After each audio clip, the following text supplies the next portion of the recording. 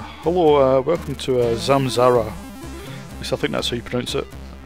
On the Commodore 64. Uh, this was a budget game uh, released uh, around about 1988, I think. Uh, yep, uh, programmed by uh, Jukka Tapanimaki. and sound by Maniacs of Noise. Now I believe I believe it was Charles Deenen, or Charles I don't know how you pronounce it. but yeah, he's the music uh, man-made music here and the sound effects. And uh, yeah, the sound effects are tremendous in this game, I think. Now, this is sort of a jump and run shooty game. Now you've four. Uh, you, the object is to. Um, I think you're supposed to um, just exit the uh, the game. I think it's 20 levels. You've got to get through them all before the time runs out. And there's a subplot where you can pick up um, canisters, I think, uh, for for a bonus. But uh, I think it's impossible to pick them all up in, uh, in a time limit that you have. But,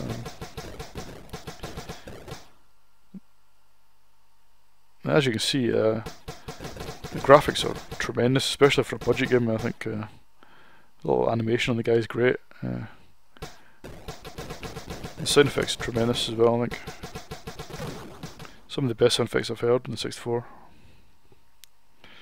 Now you've got your main weapon here, which I'm firing, but you can also press F1 to F7 to have uh, four different other types of weapon, which you've probably seen me use already. Uh, this is they all sort of, well, three of them fired sort of diagonally, like like that. And this one creates a sort of web.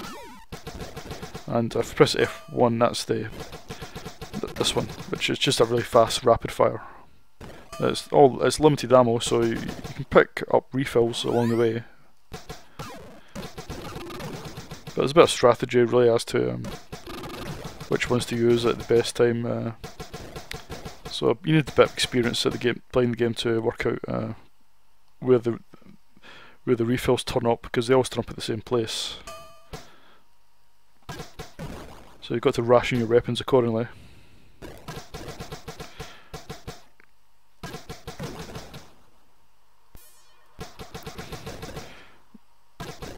I was lucky enough to buy this game when it came out, actually, uh, back in the day, and it's uh, one of these games I played quite a lot. Uh, just just because it looks so good, but it also plays very well. I think. Uh, I think it's one of Tapanimaki's uh, best games. I think. Uh.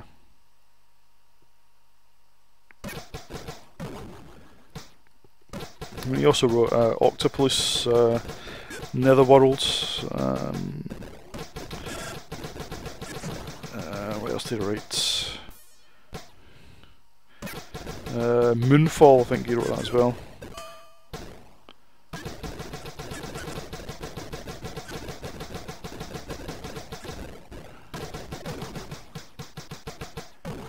And as I said, uh, and I think uh, uh, in my video for that, uh, sadly he died uh, very young. He was only in his 30s or early early 40s at the most. Uh, very young. So he didn't really uh, go into the Amiga, I'm afraid. Uh.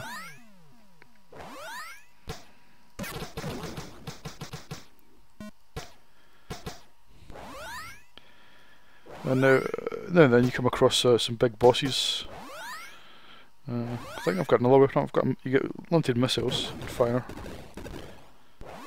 I'm down two lives. Uh, the only thing with this game is it, it is quite hard.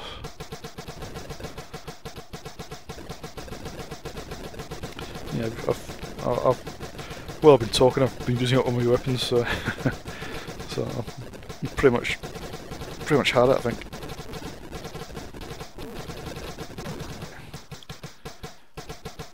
Oh, there's a refill for uh, that one. Yeah, now and then you come across some big bosses. Uh, I don't think I've ever completed this without cheating. I mean, I use an extra life, extra time cheat or something to get further, but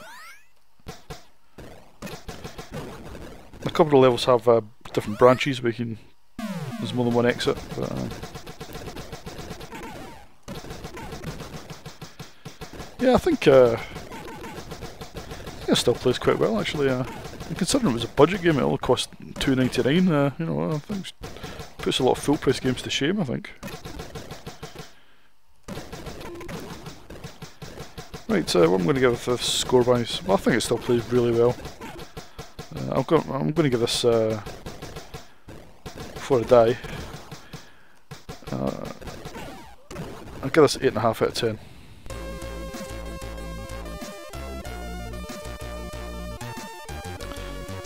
Yep. Uh, I'd give a bit more, but uh, it does uh, it does get a bit samey. Uh, but it's good to pick up and play now and then. But uh, I think it's long term appeal. I think I think it's a little too hard. So uh, yeah, I think eight and a half out of ten is a, it's a good score.